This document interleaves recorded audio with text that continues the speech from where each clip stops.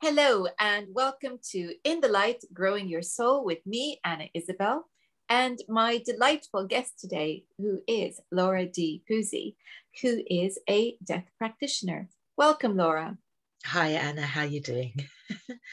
it's lovely to have you. excuse me. It's lovely to have you here. It's um, I I do follow your work, and I and I think what you do is hugely important, but takes a bit of explanation. Yes. So begin with what is a death practitioner?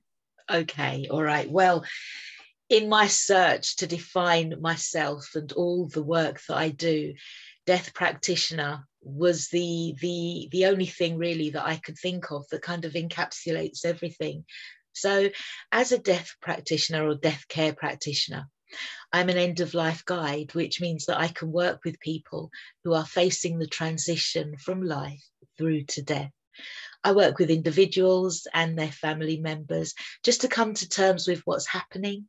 We work on a, an emotional, practical, social, and spiritual level to ensure that you know all of their needs are met at that time and that their wishes as much as possible are fulfilled so that's the end of life guidance. And then as I've known the person and built a relationship with them and their family members, I then go on to conduct the funeral ceremony if if required. And uh, so, as a funeral celebrant, I then work with them to create the funeral that is desired by them all and then ensure that the service goes well. And that's liaising with funeral directors and florists and everybody else. And then, thirdly, I'm a grief um, therapist. So, as a grief therapist, I then work with families, individuals, anybody who is experiencing grief from any trauma of the death transition. And that, I think, at the moment is really where I'm sitting quite solidly in the grief area. So, yes, that in all really is my role as a death practitioner. It's, I think, very beautiful and delicate work. And I was just listening to you talking about the the celebrant part of your work. Yeah. And I feel quite strongly that funerals are where the healing begins. Yes. You have the shock of the loss, which is intense. And but somehow your your mind is on all the funeral arrangements and actually the cruelty of the bureaucracy that surrounds death. Yes. Yes the the the amount of paperwork that you're having to deal with which is absolutely cruel and absurd at a time when you're dealing with the loss of somebody you you love. So there's all of that which keeps you busy. And then i in my experience grief doesn't probably kick in until after the funeral. That's yeah. when it begins to really hit home as well and sometimes it's during the funeral. But if you have that way of not saying goodbye, but coming to terms with the reality of this physical loss, mm. then it sets things up. It makes it, I don't know, it doesn't make it easier because grief is never easy, but it kind of, there's a comfort there because it brings people together very often, hopefully. Yeah. Um, and and and and it just uh, there's a softening of the of the edges. It's yeah. a it's a comfort that's there.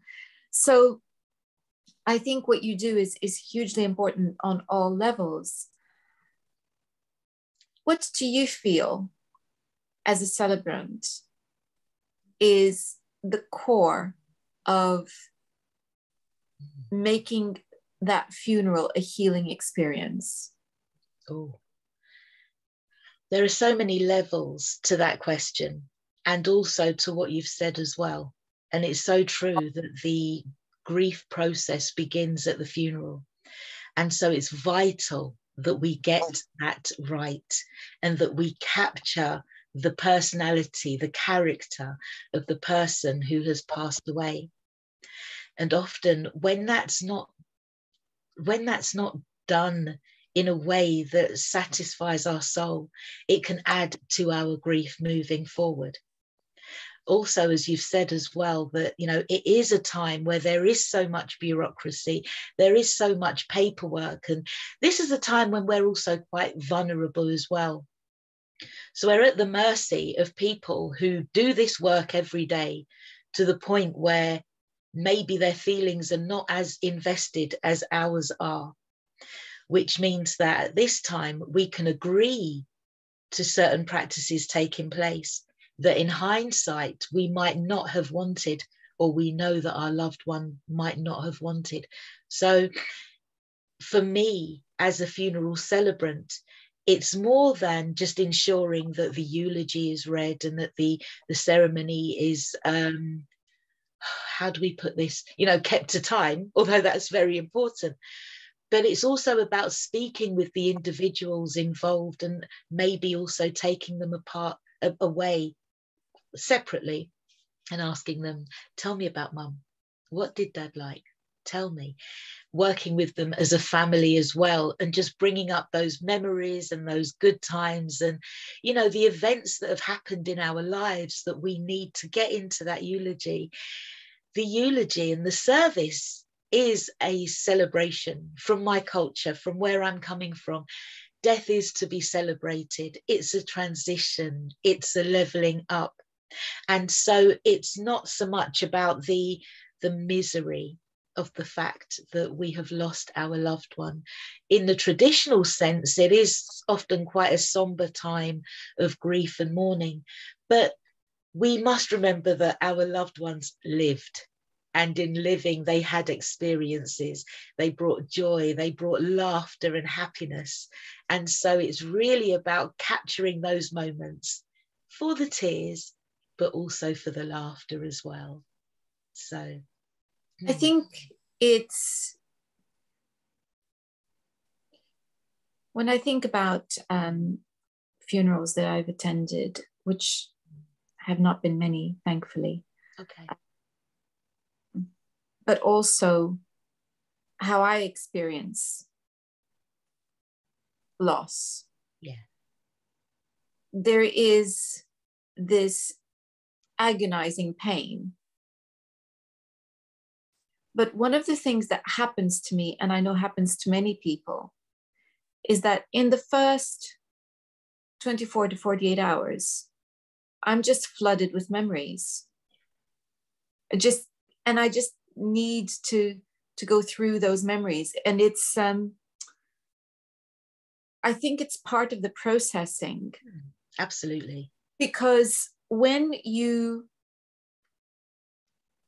have a, a life that you have shared with someone, um, be it a parent, a friend, you know, a, a husband, a wife, it doesn't matter what the relationship is. But when it's a close relationship, and suddenly that physical connection is severed,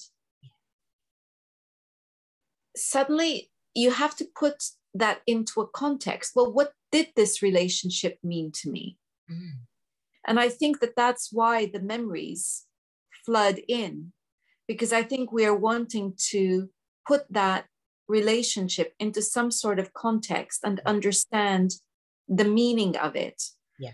Because the actual word we use to describe the relationship isn't enough. Husband, wife, mother, father, sister, it doesn't matter. That word, it only describes, it's almost like saying, you are next to me, or you're in front of me, or you're behind me. You know, you're to my left, you're to my right. That's it. They're relational words. Yes. And what we want is we want to process the experience of that person being a part of us. And I'm always struck the nice thing, and I was um, I was at um, a funeral only two weeks ago. Um, the nice thing is watching people come together and share memories. Yes. Remember this? Do you remember that? Looking at photo albums. Um, it's that's the it's very precious. So we could say that that's a celebration, Mm. but it's it's much more than that, isn't it? Yes, it's a lot deeper. And one thing that we don't realize is that when we're going through life with these people next to us, around us, you know, in our lives, we we don't often realize just how deeply we love. And so when they do pass away, the depth of our grief almost goes underneath that love, you know, to sort of rise it and bring it to the fore. And it physically hurts. Every cell in our bodies is attuned to that person in a way that we were never consciously aware of. And so when they are gone, it can feel as if the rug has been pulled from beneath us. And we're not prepared. Nobody can tell us how we're going to feel at that time. We can, you know, we can imagine how we'd like to feel, but often we are just knocked for six when somebody passes away. So, yes, there will be feelings of shock and just memories coming to our minds, and those little things that they used to say or do their smell, their voice, just seeing them smile at us, you know, it's mm, it can be a really sobering time. But yes, the memories that we have keep us going and they they they they keep on coming. And again this is our body's way of trying to heal and make sense of what's going on. Because on a conscious level yeah we know they've gone they've passed away. But our heart yearns for our loved ones. And that's where we need to take time with ourselves and be gentle and honor those emotions that come to the fore. So hmm. it seems to me that the funeral has many functions. There's the honoring of the the person who has passed and yes. and the honoring of their life, which in, in many traditions is a celebration of their life. Um, it's about beginning the process of healing and processing mm. for those who are left behind. Mm. But you and I know this does not always run smoothly because yes. families are not always havens of, of peace. Yes. So how do you in your work with you know working with people who are dying and then as a celebrant how do you deal with family dynamics when they are actually causing more pain aggravating the, the pain of grief this is such an interesting question and one that I could speak on for hours, I think. So I'll try not to get passionate and run away with myself. You know, yes, I find that at this time, this is a time when a lot of families experience conflict. And this conflict can be over many things. It can be over financial matters now moving forward who's going to pay for the funeral and everything that goes with it. But oftentimes, as well, we find that what comes to the fore are previous traumas, pre- previous grievances that were never dealt with, that were hushed up, that were swept under the carpet. They come up because now the answers are gone. They may never be dealt with. They may never get apologies. This may never give them a point of closure. And so it can be quite a conflicting time. What's necessary for me is the need to speak to everybody and ensure every voice is heard. And so, yes, as a celebrant, I do the work of a celebrant, but it's often here that myself and many other celebrants will also say as well that they do a lot of therapy at this time people need to be heard and they need to feel as though they've been understood and that their feelings are valid. One thing that I find a lot as well is that people say, I'm, I'm crying and I shouldn't be crying. Why am I crying? And I say, because you're in your 50s and you knew your mother your whole life or your father. These are the very first people you ever loved. How can you just pick yourself up and carry on as if nothing has happened? This is natural, this is life. Emotions do run rampant, and this can cause issues for other members of the family because each relationship is individual. A mother can have three daughters and have a completely different relationship with all three of them. And that is an experience that I myself had. And so, throughout my experiences with dying, death, and grief, I'm able to empathize with people and just recognize the importance of being held and heard during that time you know just facilitate that space so that people can express themselves without fear of judgment as well because again you know once the funeral is over we find that that's the time when everybody scatters and everything goes quiet and often it's then that we are left alone with our feelings. So it really is. I'm, I'm a great believer in talking. Talk, talk, talk, talk it out, talk it to everybody. We all carry a level of grief within us. So we need to speak about it. I think, in my experience, the familial issue that most commonly crops up at this point is sibling rivalry. Yeah.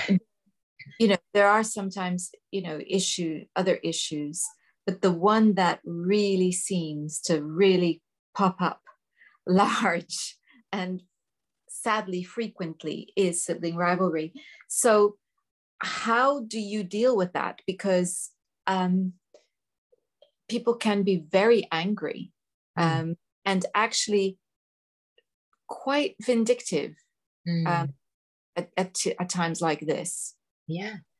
I've spoken to somebody just this week actually who said, you know, it was at that point that my brother changed and he became a completely different person. And who he is now is not the person that I grew up with. It is often a time where bitterness comes to the fore.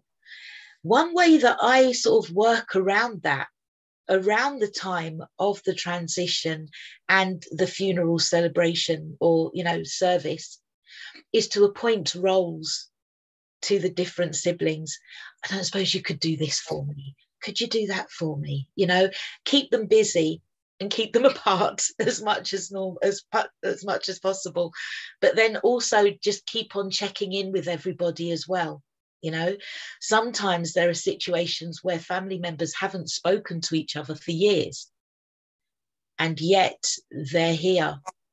Or as in my case they are not actually allowed to be anywhere near the service near the loved one near or even know where the loved one is being laid to rest it really is a matter of you know seeking them out even if just for a one to one. How are you doing? Talk to me. Tell me about your parent. And then, if the circumstance arises or time allows, what happened? Where did the breakdown come? Because this is actually a really important time where perhaps the conflict can be resolved regardless of how we feel for the person who's passed away, there's always going to be a level of feeling within us for that person. And if we can just find that one uniting thread that binds us all, we can work on that. So it is an interesting time. Mm. It's it's certainly um, difficult. You know, as a therapist, I I call it complicated grief. You know, yes it's um, it's very fortunate if all that you have to deal with is the loss. That's that's utterly excruciating. Yeah. But it's simple. You just miss your loved one. There are no complications. Yes. And that's enough. Yeah. But then when you have what I call complicated grief, where it's unfinished business, the things that were never said, yes. the apologies that were never made on either side. and then there's all the mm, all the additional conflict Mm. that in that exists between family members you know it's never going to be fixed the person is gone never going to be It's final.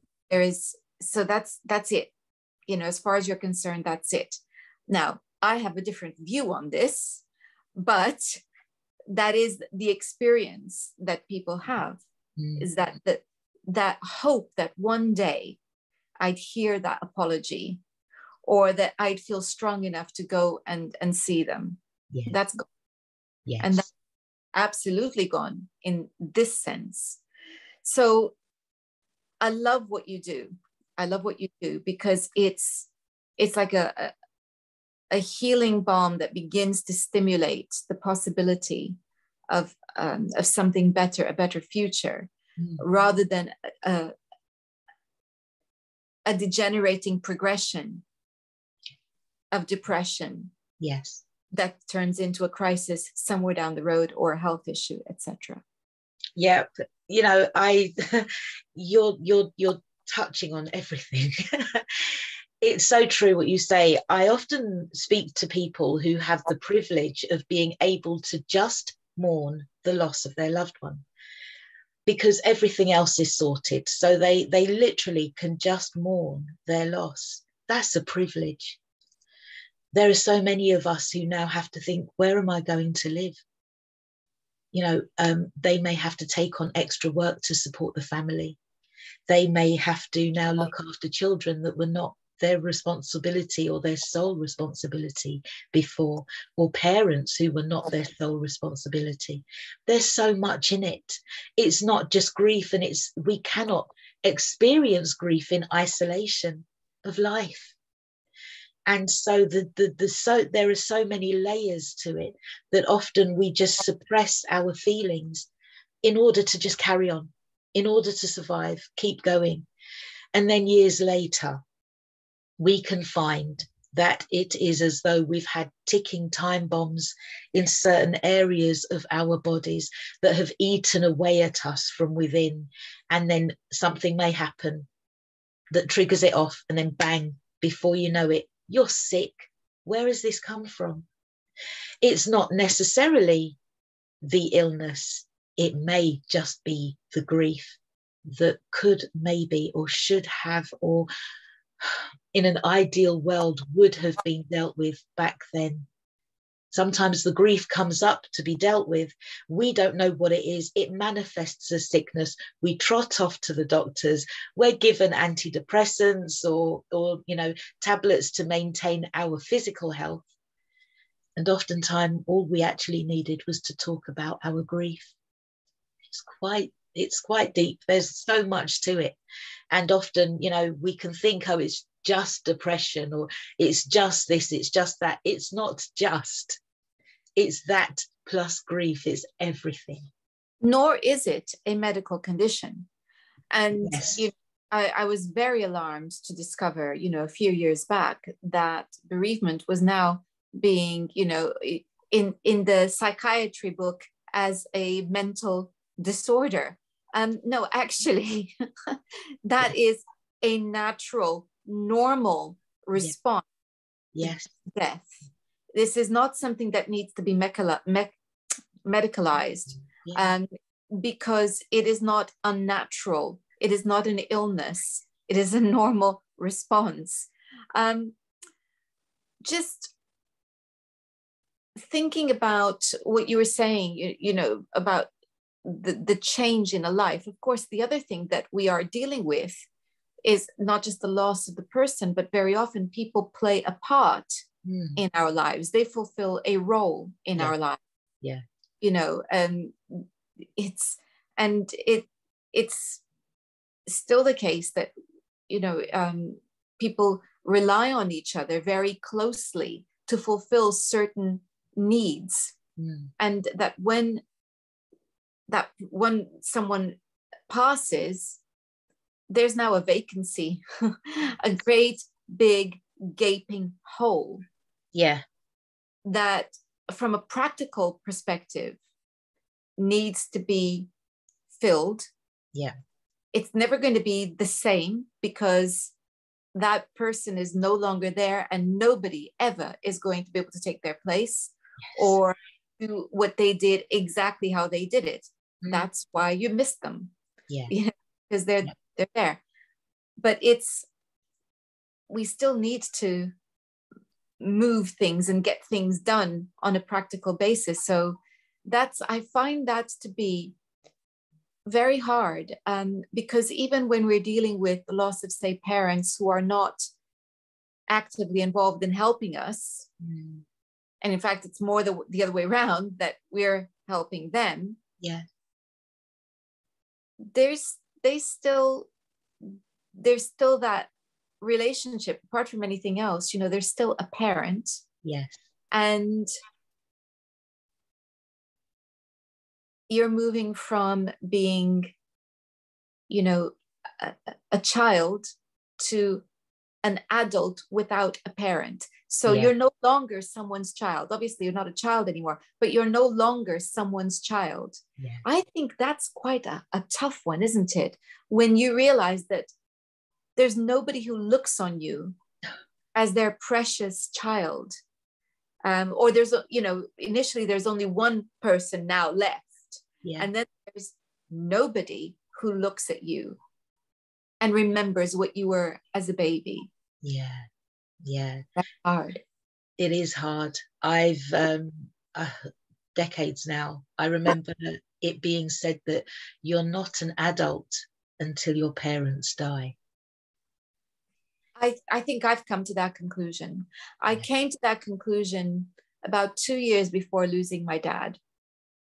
And because it was the beginning, it, the, his process of dying, I think, took about two years, really. Uh, and I, I started to realize that he was going to pass. Yeah. And that meant that all of these things. And then I thought, oh, that means his job is done. That means I'm now the adult. Yeah. I'm now a proper adult because the the older generation is dying.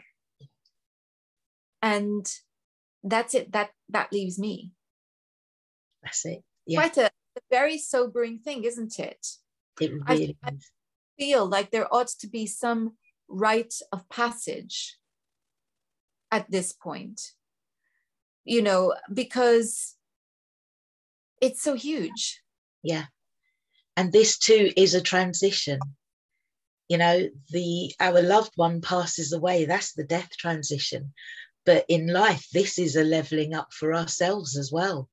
This is a new way of being. This is a new identity this is a new way a new forward a new life you know a fresh beginning that is foisted upon you.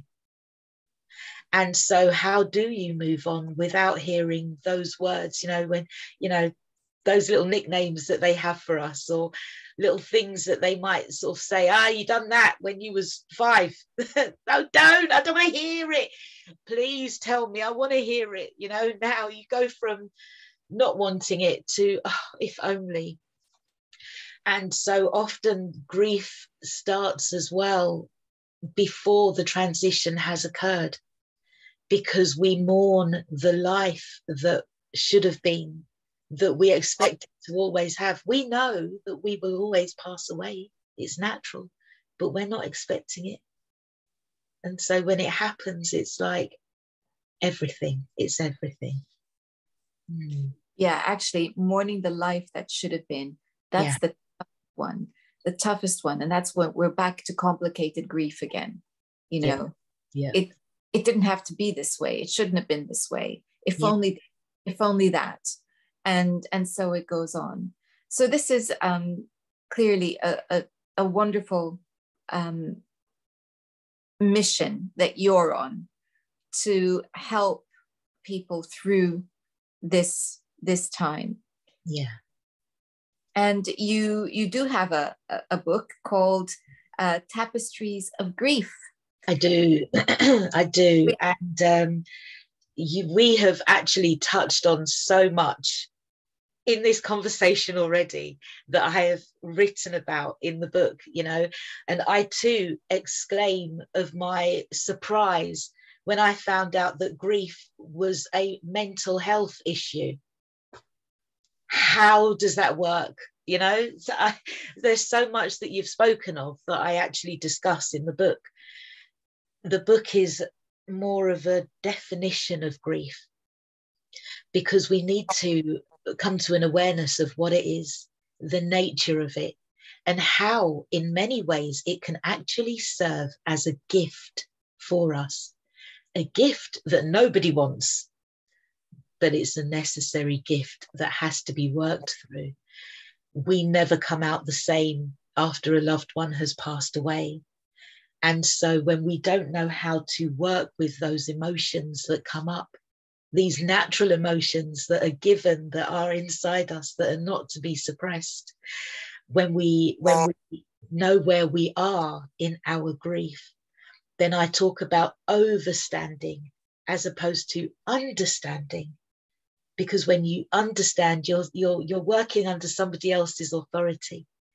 When you overstand your grief, you guide your way forward. You are in control of it and you recognize what your body is telling you. Grief is an energy and it can be transmuted into so many more positive ways. It's a lower energy, but it can be risen and changed and worked with. And so I will be putting a link to your book on the description box here. Um, and how do people get in touch with you, Laura? Okay, so um, I'm on Facebook. I've got a Facebook group which is called Dipism. So Dipism is my business. And DIP, DIP, stands for Death in Practice. And ism is a way of life. So Dipism. And where I get the ism from is when my cousin passed away in 2004. And I went and I told my father, Curtis has gone. And he said to me, Laura, death is part of life. Two months to the day, he himself was gone. He wasn't dying, he got meningitis and he passed away. So, death is part of life, and it's something that we have to recognize and respect. So, I'll go back. I have a group on Facebook, which is Dipism. So that's D dot I dot P dot ism. You can find me there. The website is www.dipism.com. So again, that's but that's just D-I-P-I-S-M dot com. And I'm also on Instagram under D dot I dot P dot ism as well. So, Wonderful. Yeah. I'll, I'll be putting a link to your website um, on the description box as well. And um, thank you for your beautiful work and for your time today. Thank you, Ana, for having me and allowing me to speak about my work. It really is a gift. And, you know, it's not morbid many people would think that this is such a morbid and miserable and dark work. It's so heartwarming. It really is. And it's um, the most important transition of our lives. So thank you for having me here to share it with you all. Well, what could be more important than working with people's hearts? yeah. Thank you all for joining us today. And um, I look forward to next time, in which we will be discussing more wonderful aspects of life and spirit and soul. Until then, goodbye.